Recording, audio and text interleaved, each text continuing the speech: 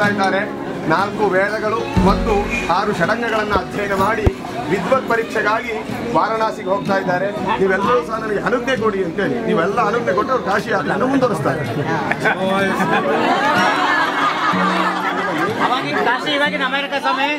ಭಕ್ತಿಯನ್ನು ಇಟ್ಕೊಂಡು ನೀವು ಕಾಶಿ ಯಾತ್ರೆಗೆ ಪ್ರಯಾಣ ಮಾಡಬೇಕು ಅಂತ ಅವರು ನಿಮ್ಮನ್ನು ಕೇಳ್ತಾ ಇದ್ದಾರೆ.